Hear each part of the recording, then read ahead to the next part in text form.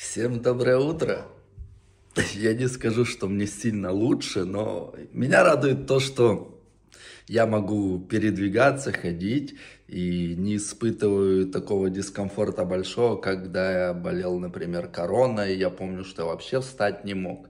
Возможно, у меня сейчас тоже корона, просто я об этом не знаю, но уже прошло сколько? Шесть дней. В любом случае, я провел его дома, ни с кем не контактировал, то есть моя совесть чиста.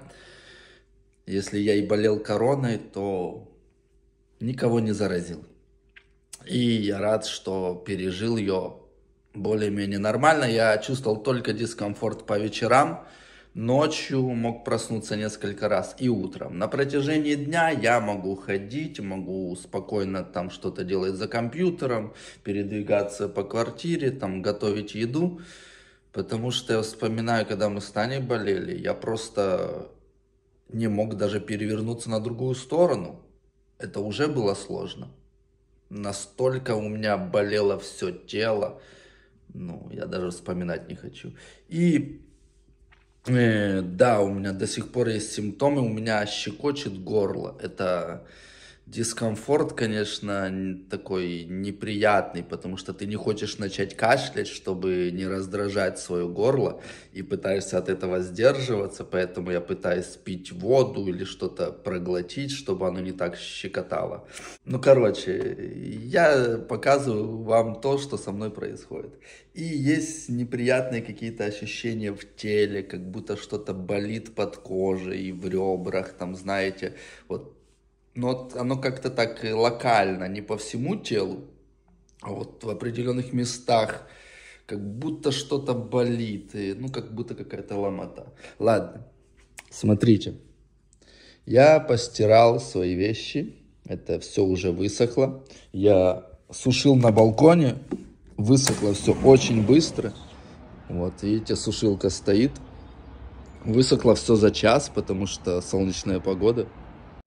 И когда мне было по вечерам прохладно, а, просто дождь был несколько дней, я даже включал кондиционер на обогрев, потому что влажность сильная. Когда тут начинается дождь, температура нормальная, но большая влажность, сыро и как-то некомфортно, поэтому включай кондиционер. И вот тоже вещи сохнут, сохнут, точнее уже высохли. Вот брюки хорошо бы погладить, на них нужно стрелки нагладить. Они мне очень нравятся. Ну, не знаю, мне нравится. Кстати, вот видите, у меня есть целая пачка стирального порошка и вот такая вот гречневая крупа. А знаете, где ее взял? Оказывается, она у меня была в этом чемодане. А откуда у меня появился этот чемодан с вещами? А все потому, что я забрал его у Петера. Петер любезно согласился э, у себя в квартире э, оставить мой чемодан, когда я ездил в Турцию, Бухарест, Милан, когда меня не было, чтобы не таскать этот чемодан, потому что он бы мне очень был бы в это время не в тему, мне он просто был не нужен. И вот он стоял у Петера. Я его забрал, и оказывается, у меня в этом чемодане был стиральный порошок и гречневая крупа. Я ее не выбросил. Да, у меня тут и беспорядок. Тут очень, кстати, неудобно то, что все розетки расположены вот здесь. Вот одна, вторая. Не чтобы было сделать здесь розетки. В итоге тут я достал тостер, и нужно мне его тащить сюда, высовывать что-то, чтобы пожарить хлеб. Либо взять чайник, переместить сюда – воткнуть. И, кстати, я хотел кофе приготовить. Видите, какая тут кофемашина с такими вот крупными капсулами. Капсулы очень легко в Европе перепутать, потому что есть множество форматов и множество кофемашин, и к ним подходит только определенная фирма. И все. Этот кофе, который я купил, мне не нравится. То есть э, была полная пачка. Ну, короче, так себе кофе. Нужно знать, какой подбирать. Их тоже большое разнови... большое, большой ассортимент.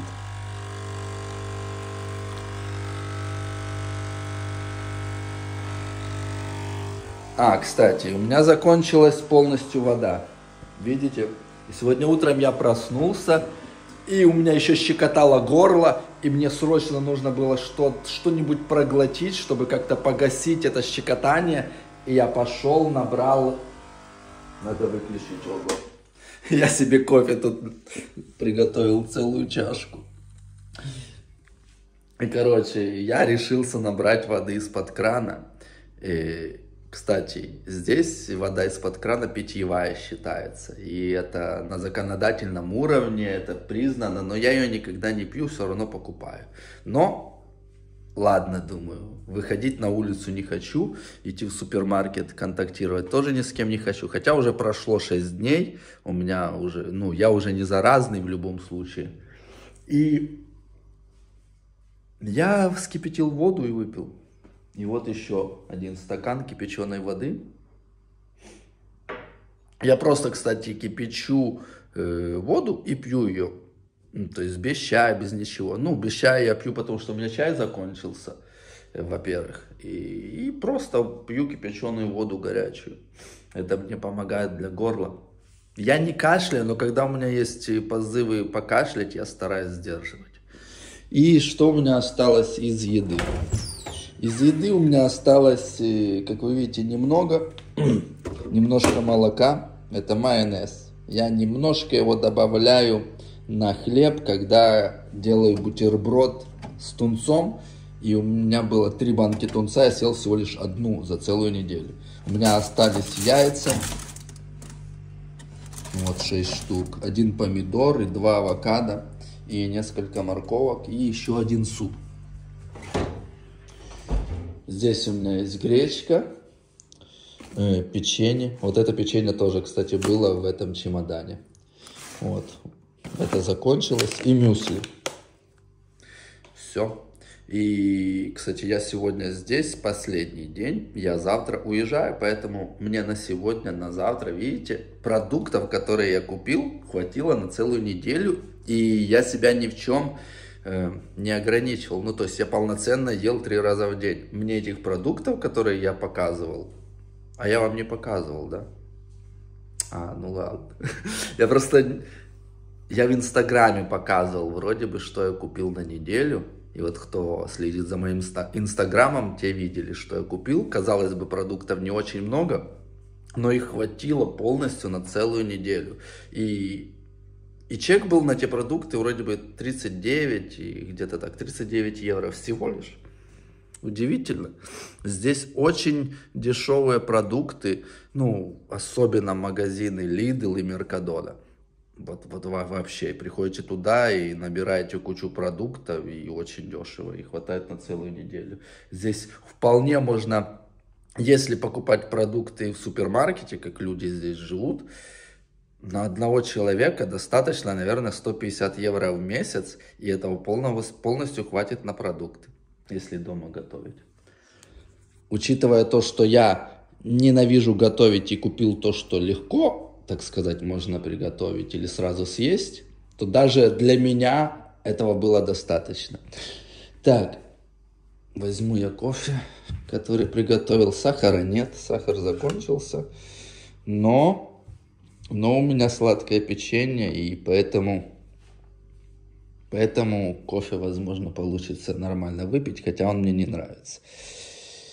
Так, зарядка эта, которую я купил, работает, все окей, потому что я вам говорил, что я забыл свою зарядку от айфона в лаунже. Вот котик, видите, он на солнечных батареях.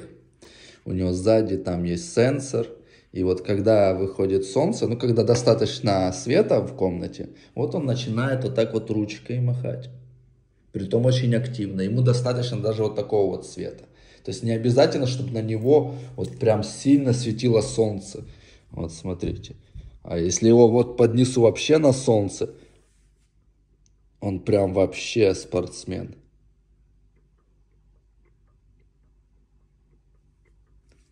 Когда мало света, он медленно машет. Вот. Это для Тани презент. из Чайнатаун. В Милане есть Чайнатаун, там э, очень широкая улица, такой район, где очень много китайских магазинов, заведений, всякой продукции, очень красивая улица, там приятно погулять. Вот там котика такого купил. И что я еще хотел сказать, что я не знаю, что делать мне с этими вещами. Вещей, как оказывается, у меня достаточно. То есть я научился их трамбовать в один рюкзак, потому что я покупаю билеты, ну, авиабилеты, без багажа. Это выгодно, то есть ты можешь вообще за маленький прайс полететь куда угодно, там буквально за 15, за 20, за 30, за 40 евро. По Европе можно лететь куда угодно, даже на острова. Вот я сейчас и лечу тоже достаточно дешево. Притом это на острова. Казалось бы, на острова должно быть дорого, но нет. И вот если ты только с рюкзаком, это очень выгодно. А если у тебя чемодан такой, как у меня, все – ты должен за него доплатить еще 100 евро, к примеру. И потом его таскать, потом, ну, это всегда нужно такси, то есть ты не можешь потом от аэропорта или откуда-то еще пройтись пешком, просто прогуляться. Тебе всегда нужно будет вызывать такси, таскать его с собой. Поэтому у меня вообще в планах избавиться от этого чемодана, от этих вещей. Да, здесь у меня остались вещи, которыми я пользуюсь, но я понимаю, что мне нужно еще меньше. Ну, то есть их уже осталось не так много. Но я понимаю, что мне вообще почти ничего не нужно. Мне достаточно будет только, если у меня будет две пары штанов, три футболки, э, одна пара кроссовок. Если кроссовки порвались, я просто те выбрасываю, покупаю новые. Там, если у меня будут одни шорты, ну там и, и все, и мне больше ничего не нужно. Ну, трусы, носки, все. И это все замечательно просто помещается в рюкзак. И я не знаю проблем. А так у меня вот несколько вот таких вот теплых есть вещей. Там олимпийки. Вот, у меня есть много курток. Вот такая вот есть у меня, кстати, дорогая куртка. Это для того, чтобы ходить в горы. Я ее покупал в Киеве не помню, она вроде 300 евро стоила. Ну, короче, я ее использовал не так и часто. Да, она хорошая, не пропускает ветер, вот, в ней комфортно. Но, а по сути, я ей не пользуюсь. Потом у меня здесь еще вот одна куртка дизель, которую я редко ношу. И здесь у меня кожаная косуха, достаточно тяжелая. Так, Здесь кроксы, старые кроссовки, это чехол от наушников, вот рубашка и летние штаны. Ну и все. Вот еще штаны. И вот такая вот теплая вещь. Ну, вы ее видели сто раз. Это New Balance. Да, она вроде удобная, но мне всегда в ней жарко. Вот парит. Даже когда холодно на улице, мне в ней жарко. То есть и вот это все мои вещи. И вы не поверите, мне этого очень много. Еще вот такая вот куртка, так сказать, от дождя, но если долго в ней находиться под дождем, она все равно пропускает воду, промокает. Но если не сильно долго, то нормально. И вот такого количества вещей мне очень и очень много.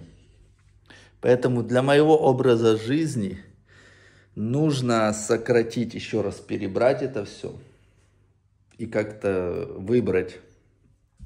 Это хорошие, все хорошие вещи остались, но как-то нужно выбрать. И вот думаю, сделать это сейчас, либо потом. Потому что я сейчас буду ехать на острова, где планирую много передвигаться, переезжать, и мне будет этот чемодан не в тему. Да, я могу его оставить в камере хранения и потом его забрать уже на материке.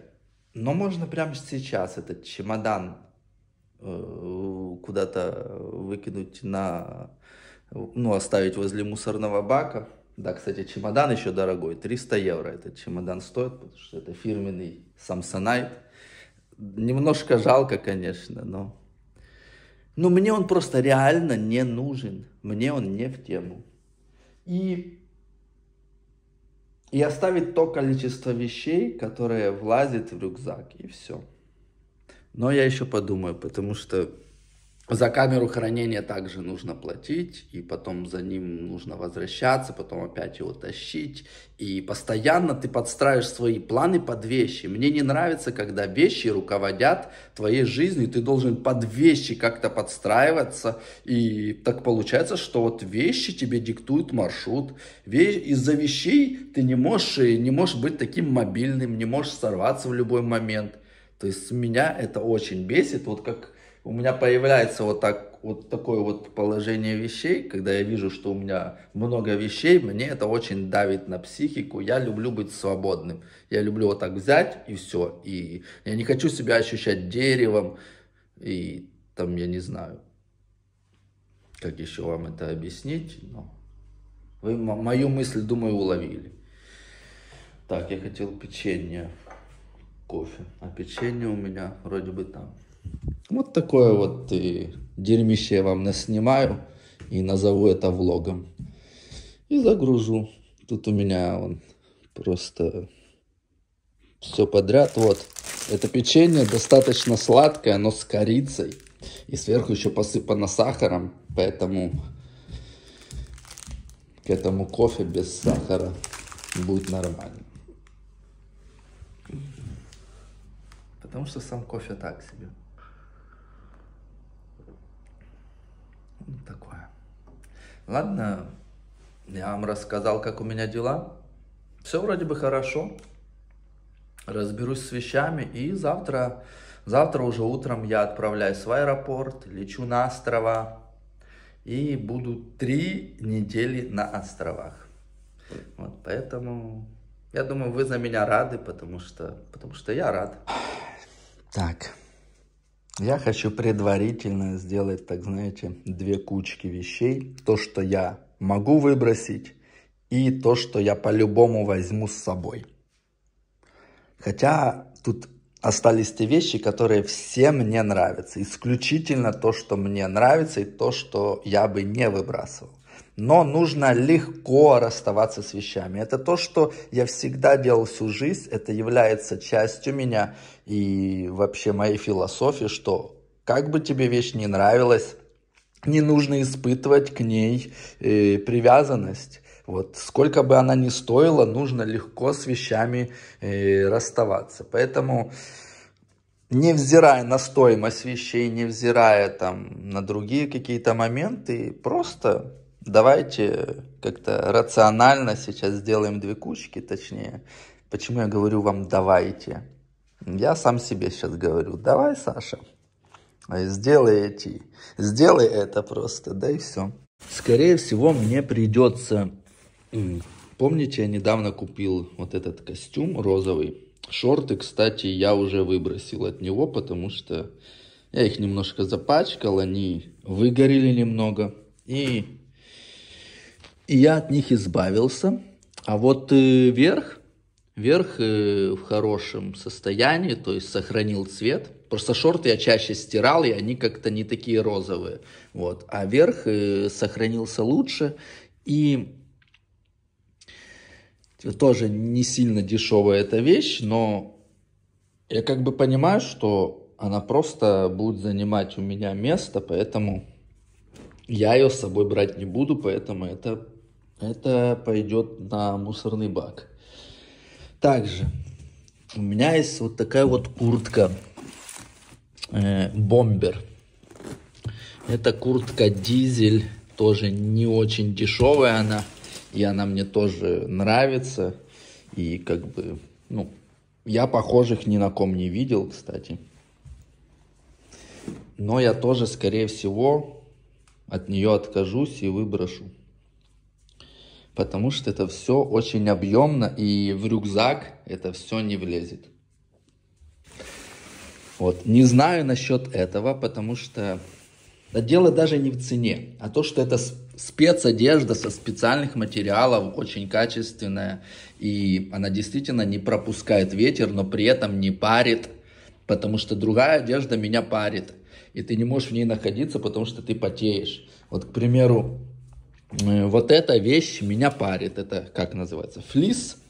Да, это очень хорошо, когда совсем холодно, прям, если ты отправляешься куда-то в тундру, там, я не знаю, где очень холодно, да, в этом нормально. Тут и карманы и внутри удобно, и снаружи, и там и застегивается. Ну, прям она очень парит, и ты в ней потеешь. Поэтому тоже под вопросом, э, выбрасывать ли вот это. Вот эту я оставлю, потому что я знаю, что она мне пригодится именно для моих прогулок по горам. Потому что хорошо защищает от ветра. Шорты вот такие вот я недавно совсем купил. Э, носил всего лишь э, раза три, один раз на концерт и пару раз в городе. Они мне нравятся. Вот они брючного типа, я люблю брюки. Вот мне нравится все, что такого вот покроя.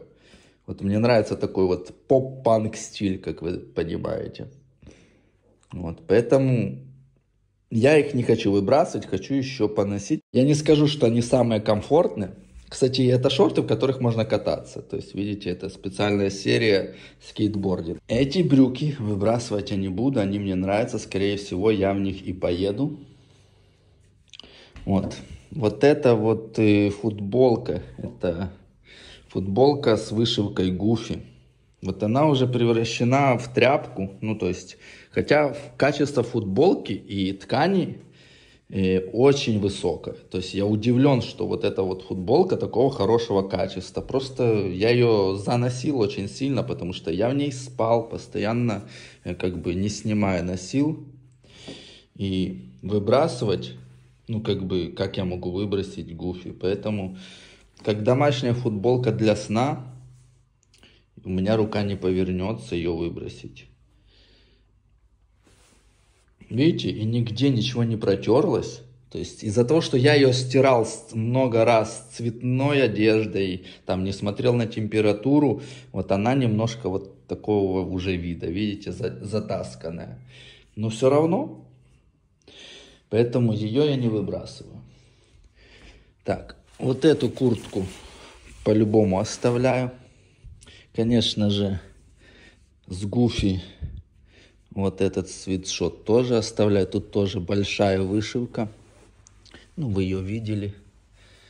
Вот, тут Гуфи как живой вообще. Поэтому это, конечно же, остается. Термобелье оставляю. Эту зеленую футболку тоже оставляю. Она мне очень нравится. Под вопросом это белая.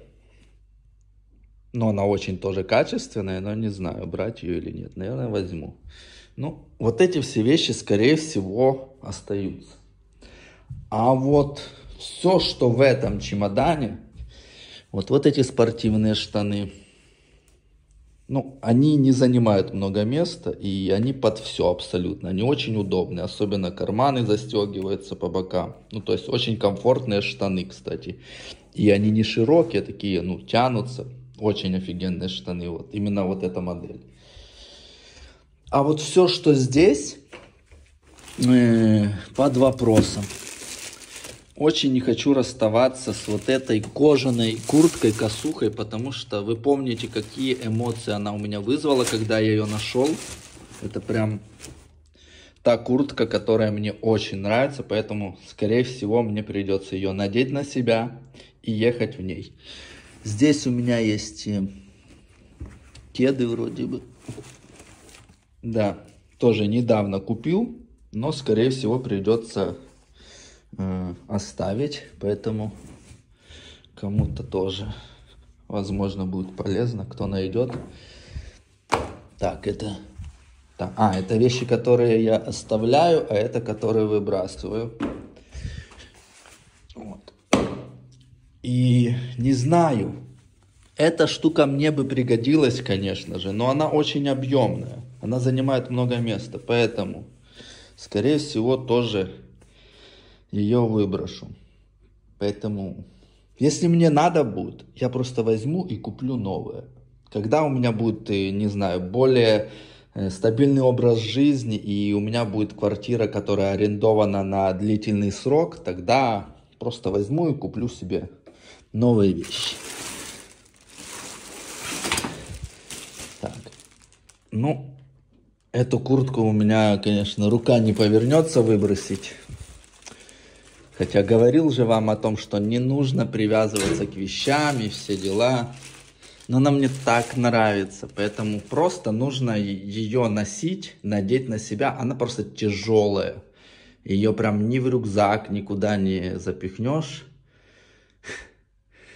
Эти противогазы заставляют вешать во все съемные квартиры. То есть им запрещают сдавать квартиры, если не будут вот так вот висеть. И... Какой противогаз? Ну, этот баллон для тушения огня.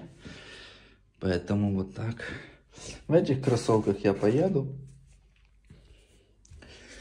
А, сумку не хотелось бы выбрасывать. Рюкзак, он яркий и удобный, кстати. И вот ты, когда идешь где-то по улицам, в тумане, тебя заметно, и то есть водители проезжающих машин видят тебя далеко, и плюс тут светоотражатели, поэтому он очень легкий, тонкий, поэтому я его оставлю, постараюсь забрать с собой. А, дальше. Здесь, здесь белье какое-то, блин, а что его не заметил, нужно было постирать. Ну, ну и, ну и хрен с ним. Просто выбросится. Тут тоже полно белья, а тут вроде бы чистое. Тоже носки тут нужно будет перебрать, какие брать, какие нет. У меня их просто очень много. Эту рубашку и штаны, к сожалению, придется также отправить. Летняя моя одежда, но такого полно в магазинах, без проблем и очень дешево купить что-то подобное. Так, это у меня кроксы. Кроксы занимают, да, они легкие, но они занимают много места, потому что они объемные. Поэтому, скорее всего, они также отправятся к мусорному баку, но джибицы вот эти я позабираю, конечно, потому что кроксы можно новые купить, а вот джибицы, джибицы я собирал, выбирал, вот, видите, какие они. Вот поэтому это заберем, а кроксы отправятся на мусор. Чехол вот эти, вот этот от наушников моих также мне не нужен. То есть он предназначен для хранения. Там есть определенный датчик, магнит. Это для перевозки чехол. Такой, знаете, приятный на ощупь. Ну, типа, оригинальная вещь, но тоже она мне нахрен не нужна. Моя старая кепка. То есть на мне, вот если вы думаете, что э, когда вы мне говорите, пора уже поменять кепку, вот, ребята, это новая кепка, а вот старая кепка. И вот этой новой кепке всего лишь несколько месяцев. Она превратилась в такую же. Она выгорела. Это одинаковая модель. Эта кепка была полностью новой, черной, всего лишь несколько месяцев назад. Вот она выглядит точно так же. А вот этой кепке уже несколько лет. Да, она ужасно выглядит, может вам показаться, но не знаю, ну, не хочется к ней привязываться, но... Ну, чего мне привязываться к вещам каким-то? Да, мне немножко жалко ее выбрасывать, она мне нравится, но, скорее всего, она также отправится на мусорный бак. Вот, здесь у меня мои кроссовки, в которых я проходил очень много гор. Это, кстати, эксклюзивная модель New Balance. Таня говорила, что именно эта модель на каком-то там сайте или Farfetch или как-то стоит больше тысячи евро. Ну, типа, знаете, как э, эксклюзивные какие-то модели, но, кстати, качество офигенное. Ну, сколько я проходил в них,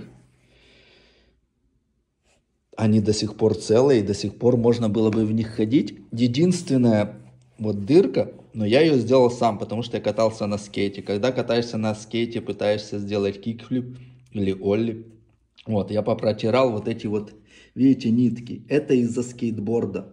Это об наждачку стерлось. Если бы я не катался э, на скейтборде в этих кроссовках, то есть они полностью целые. Вот, за столько лет, столько походов они пережили, и они очень удобные. Но, но, но они также, скорее всего, отправятся на мусорный бак. Так, у меня еще есть тоже вот эти штаны, кстати, дорогие. Их покупал вместе с этой курткой. Они тоже очень легкие, стрейчевые, не пропускают, не пропускают ветер там.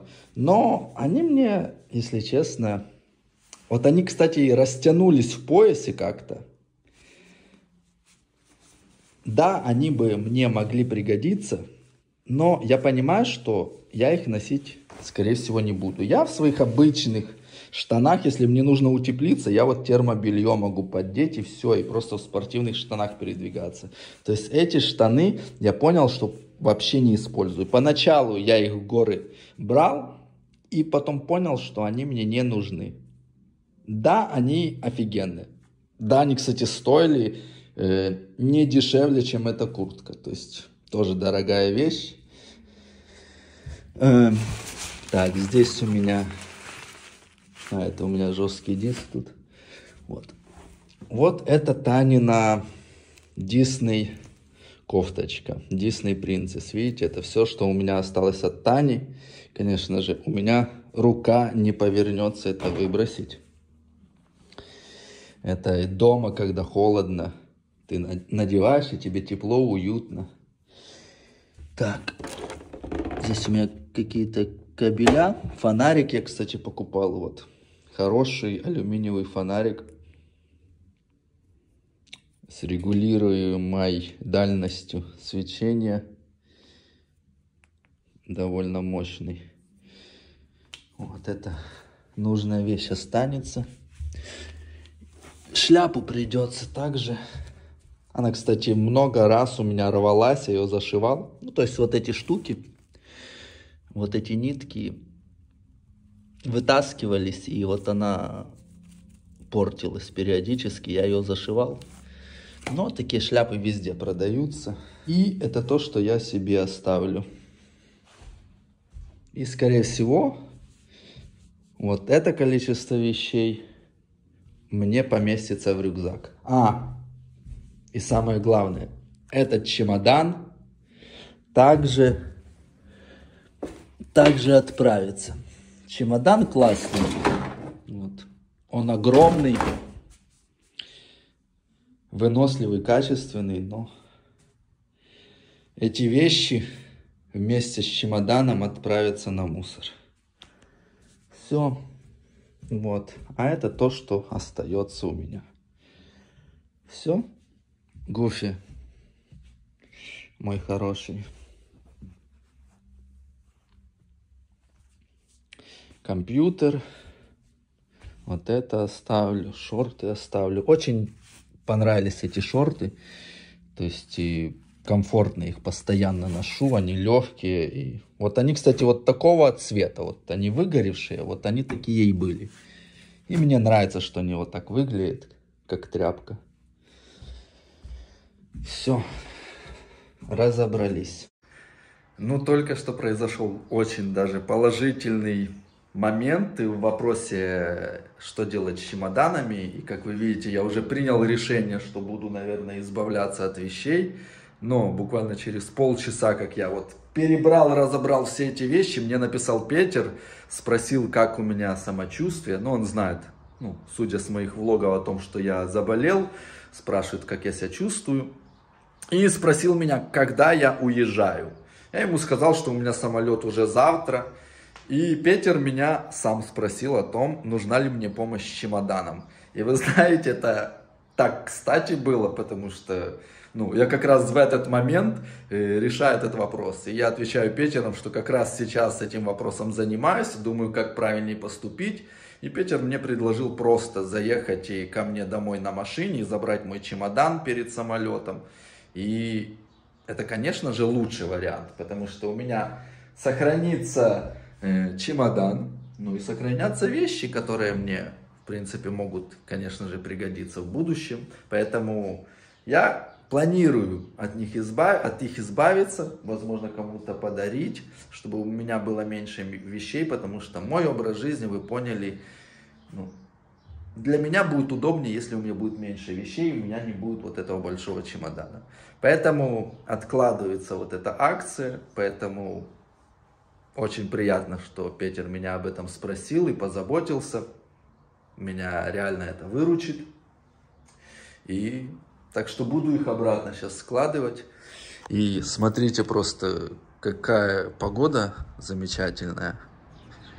За все время было всего лишь два дня дождливых.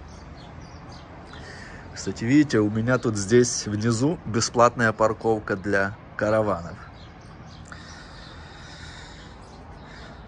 Офигенно. Вот я сюда ложусь и просто загораю. Вот здесь прям максимальная жара у меня на балконе.